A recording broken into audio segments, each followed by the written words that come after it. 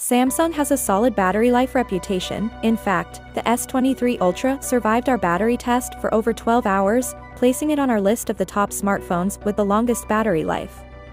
The battery life of the S23 Plus was also comparable, lasting nearly 11.5 hours. The battery life of the S23, the smallest premier phone from Samsung, is 10 hours and 27 minutes.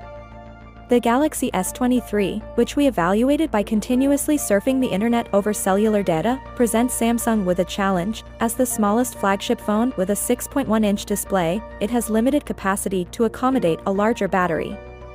The Galaxy S23 Plus has a 4,700 mAh battery, compared to the S23's 3,900 mAh battery.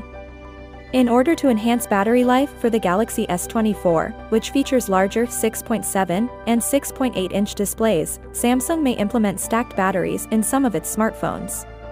These batteries are denser and provide more power without requiring an increase in size. To prevent the phone from overheating, this, however, necessitates a cooling system. The stacked battery is rumored to be exclusive to the S24 Ultra and S24 Plus variants. Samsung's strategy for enhancing the S24's battery life remains undisclosed, however, an enhanced chipset for the device may contribute to the improvement.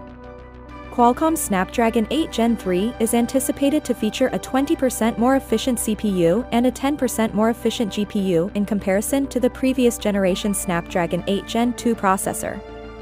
This development is anticipated to enhance the battery performance of smartphones incorporating the latest Qualcomm silicon.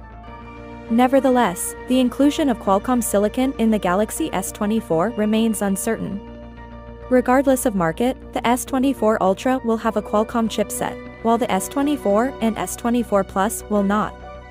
It may feature Samsung's Exynos 2400 chipset, however, the chipset's efficiency in some markets is unknown, so it is impossible to foresee whether or not it will extend the battery life of the phone. If the Galaxy S24 has a comparable battery life to the S23, with the S23 capable of operating for an entire day without requiring recharging, then alternative smartphones are consistently devising methods to prolong their battery lives. This could potentially disadvantage Samsung's smallest flagship phone. As the Galaxy S24 is scheduled for release in early 2024, we eagerly await Samsung's response to this challenge. Finally, what are your thoughts about it?